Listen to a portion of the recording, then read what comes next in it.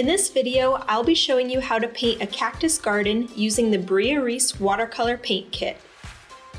This kit comes with 12 tubes of professional watercolor paint, 3 paint brushes, a pencil, a sharpener, an eraser, a palette, and a watercolor paper panel. First, I'm going to fill my palette.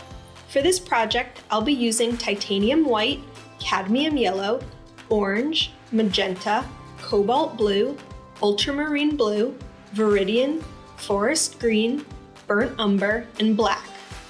You'll also want a small water dish and a paper towel. Next, I'm going to use my pencil to lightly sketch the outline of my plants and pots. If you want your plants to sit in front of one another, you can draw the full outline and then erase the overlap. When you're happy with your layout, use your eraser to get rid of any extra lines or darker areas. To begin painting, I'm going to wet my number 10 flat paintbrush and pick up a small amount of yellow to move to the mixing area. Then I'm going to pick up a small amount of forest green and mix it with the yellow. I'm going to fill in the cactuses, remembering to start with my lighter, watered down colors. As you continue to paint your cactuses, Mix up new shades of green with the yellow, blue, and green paints.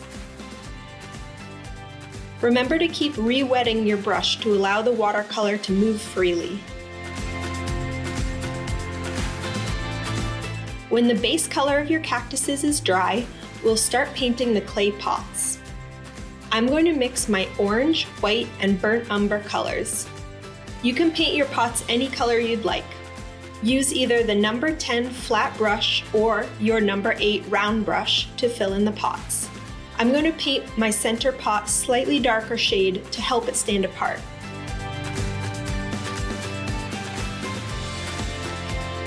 When the pots are dry, we'll start adding some details with our number one round brush. I'm going to wet my brush and then pick up some orange paint for a pattern on the side of the pots. I'm going to use less water in the paint for my details so that the color is darker and more saturated. Next, I'm going to clean my brush and pick up some forest green paint with a bit of yellow. This cactus will get some vertical lines. The larger cactus will get small dots to represent its spiky needles. And then this little one will get some horizontal stripes up each leaf.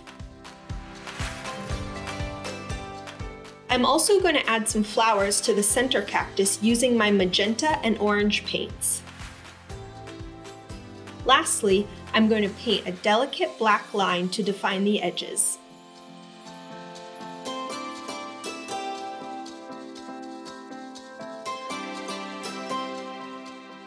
I'm happy with all of the details and colors, so I'm going to finish my painting by adding some light shadows to show depth.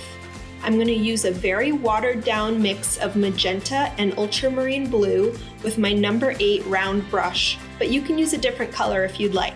All of my shadows are going to be on the left side of my plants because I want the light to look like it's coming from the right.